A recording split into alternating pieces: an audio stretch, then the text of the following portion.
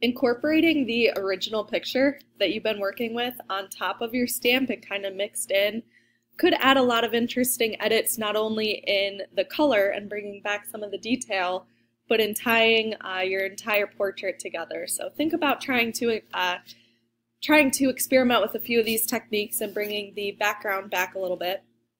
But you should have a background copy that still has your original photo. If you don't, you can just go to File, Place Linked, and place your picture. So I'm going to just drag this bottom layer up to the top layer. And if you lower your opacity, you should be able to kind of see through to make sure that everything still lines up.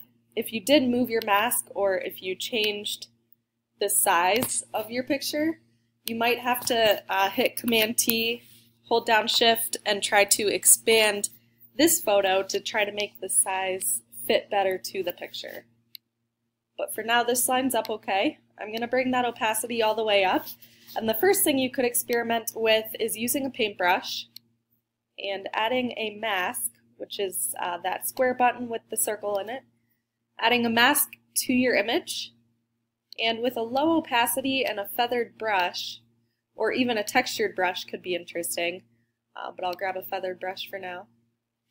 You can try to bring some of the texture back. So I'm kind of getting rid of some of um, that value so you can see the clouds and maybe play around with having that fade into your image. So instead of kind of taking over the entire picture, maybe just have it in certain areas. So maybe um, I have the clouds more in the hair and then starting to fade into the face of it.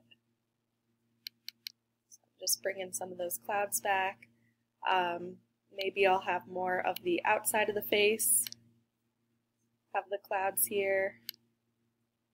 So just play around with maybe the placement of your brush to try to bring just some of the some of the texture back, but leaving some of uh, your picture.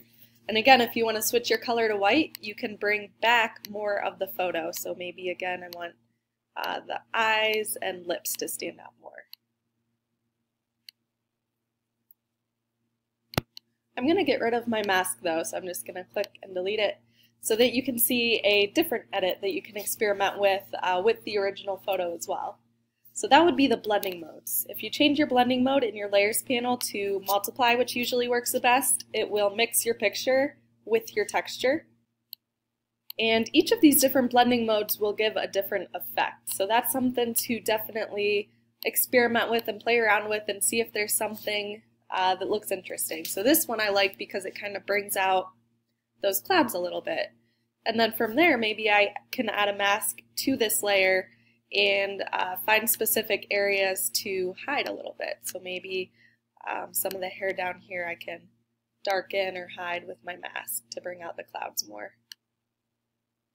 So play around with that original picture, see what you can do to really um, bring out an interesting effect within your image.